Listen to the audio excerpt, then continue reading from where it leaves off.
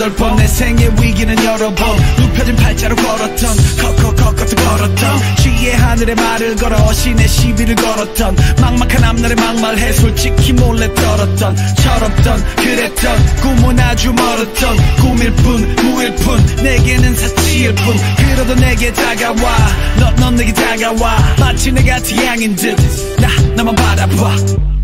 넌 나만 바라봐. 넌내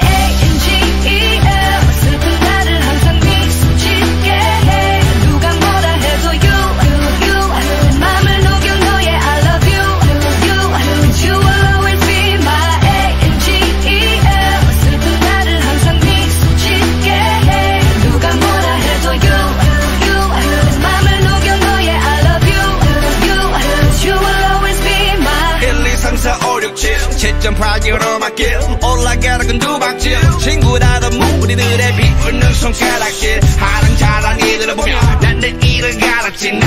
그렇게 살았지 내 영혼도 눈 감았지 내 그림자도 귀찮은 층. 혹시 그때 내맘